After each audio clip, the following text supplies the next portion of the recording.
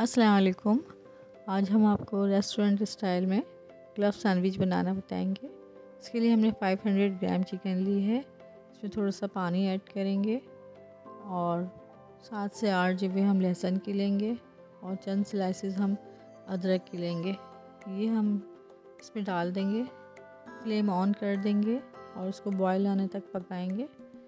जब इसमें उबाल आ जाएगा तो हम लो फ्लेम पे उसको ढक कर पकने के लिए रख देंगे।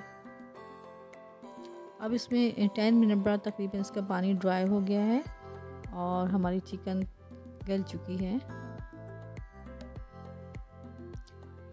चिकन हमारी तकरीबन गल चुकी है।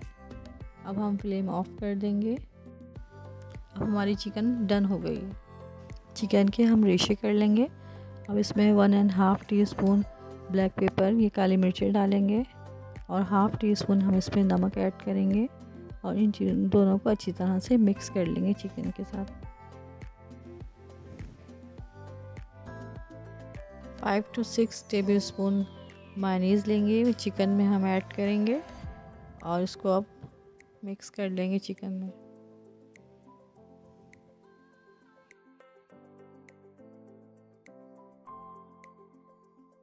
ग्रिल पैन लेंगे हम। उसको ऑयल से ग्रीस करेंगे और फिर फ्लेम ऑन करके स्लाइस हम रखेंगे और उसको हम सेक लेंगे।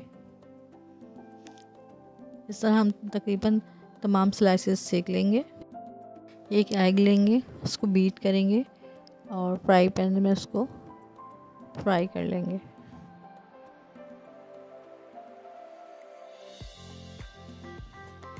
तीन स्लाइसेस लेंगे हम थ्री स्लाइसेस ब्रेड के। उनके किनारे कट कर लेंगे। और फिर मायनीस हम तमाम स्लाइसेस पे मायनीस लगा लेंगे वन बाय वन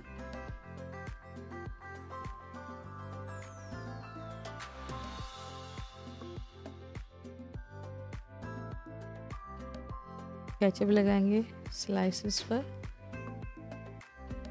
तीनों स्लाइसेस पे हम केचप लगाएँगे जिन पे मायनीस लगाया था। सलाद पत्ता रखेंगे स्लाइस के ऊपर और उसके ऊपर हमने चीज़ स्लाइस रखी है। अब खीरे के पीसेस रख देंगे और जो एग फ्राई किया था, वो एग इसके ऊपर रख देंगे। चिकन माइनीस का जो मिक्सचर था, वो हम स्लाइस के ऊपर लगाएँगे और अच्छी तरह से स्प्रेड कर लेंगे ताकि हर बाइट में हमारी चिकन आए और हम एग स्लाइस को हम चिकन स्लाइस पे रखेंगे और जो लास्ट जो तोस है, वो हम उसके ऊपर रख देंगे एग के ऊपर। सेंटर से इसको कट करेंगे। अगर आप चाहें तो उसके दो स्लाइसिस कर लें और आपकी मर्ज़ी है, अगर आप चाहें तो उसके चार स्लाइसिस भी कर सकते हैं।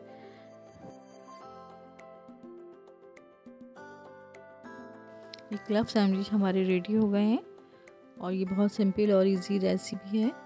जो हर कोई बना सकता है, जो खाने में बहुत टेस्टी हैं। उम्मीद है आप सबको बहुत पसंद आएँगे।